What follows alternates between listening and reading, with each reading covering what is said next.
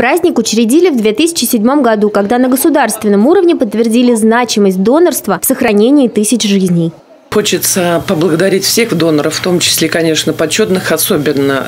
Сегодня отмечается в России день, Национальный день донора крови этот праздник, конечно, не зря придуман, потому что доноры и вообще почетные доноры – это герои, которые частичкой своей крови, они оказывают помощь больным, и им низкий поклон и большая благодарность.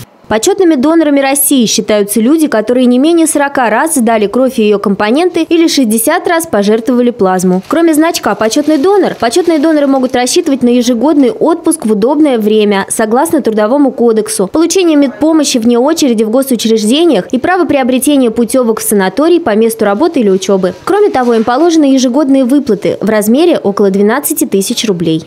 Ну, в службе крови я работаю более 30 лет. Являюсь почетным донором. По своей работе мы, наверное, как никто другой, знаем, как бывает требуется кровь в родильные дома, в хирургические отделения, в ожоговые центры, э, в детскую гематологию, во взрослую гематологию.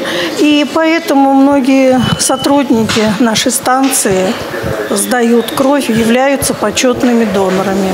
Кровь нужна в больницах и роддомах постоянно. Количество людей с заболеваниями, требующими срочных переливаний и жертв несчастных случаев не становится меньше. И потребность в донорах никогда не иссякнет.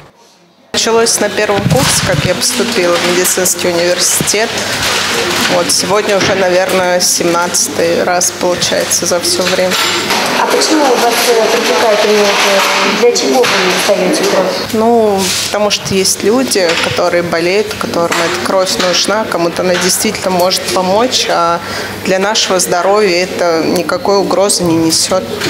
Сейчас в Рязани области более трех тысяч почетных доноров, и главной целью всех их является бескорыстная помощь совершенно незнакомым, но очень нуждающимся людям. Бояться процедуры не стоит. Все, что нужно, прийти на станцию, где врачи оценят состояние вашего здоровья и в случае, если противопоказания отсутствуют, аккуратно и бережно проведут операцию, которая, возможно, спасет чью-то жизнь.